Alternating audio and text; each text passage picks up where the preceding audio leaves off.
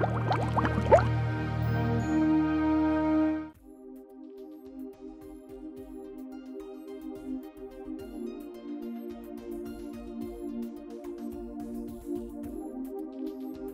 I'm Jean-Michel Ménard. I'm professor in the Department of Physics at the University of Ottawa, and I'm the principal investigator of the Ultrafast Terahertz Lab. Our research group uses lasers and custom optical tools that we design here in the lab uh, to study materials. Uh, some of these materials are very new, very intriguing, such as superconductors, uh, two-dimensional materials, and semiconductor heterostructures. But we are also interested in materials that we know from our everyday life, such as polymers and uh, proteins or chemicals that uh, we find in the air. So this is the ultra-fast terahertz lab. And what I mean by terahertz is a region of light, such as infrared light or ultraviolet. Light is composed of uh, an oscillating electric and magnetic field. And visible light, the one that we see, is only a very small region of the full electromagnetic spectrum of light. So in our labs, we specialize in the generation and detection of terahertz light. It's a region that corresponds to roughly the far infrared and mid-infrared part of the electromagnetic spectrum. Uh, but we call it terahertz because we can here resolve experimentally the oscillating electric field of that light, which has a frequency of 10 to the 12 hertz or 1 terahertz. So this region of light is very difficult to generate and detect.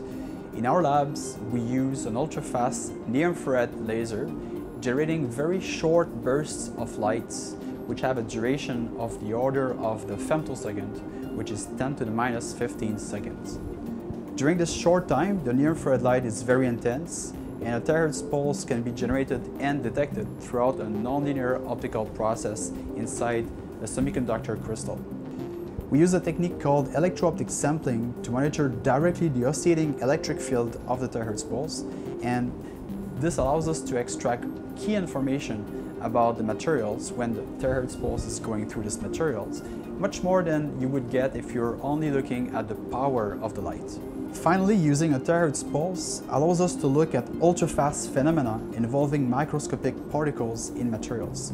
It's just like having a video camera with many, many frames per second, but in our case, the full video is sometimes less than a few picosecond duration.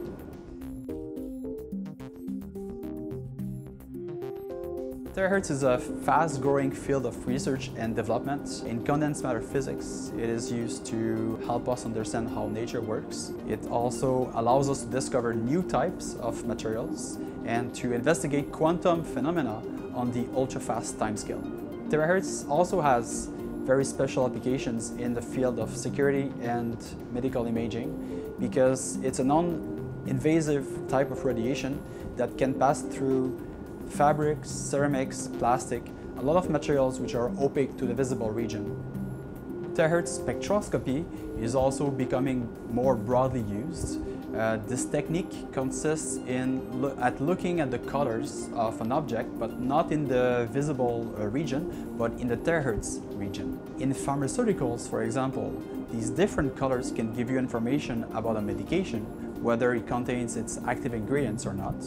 And also in the food industry, it can be used for quality control purposes uh, to look, for example, for the presence of bacteria. We also work closely with Canadian industry, for example, to develop compact ultra-fast terahertz sources and detectors. Uh, we are also interested in uh, developing new types of components in the terahertz regions, such as terahertz filters. And we think that this will help these companies, and for sure our group, to uh, position ourselves as uh, world leaders in terahertz photonics.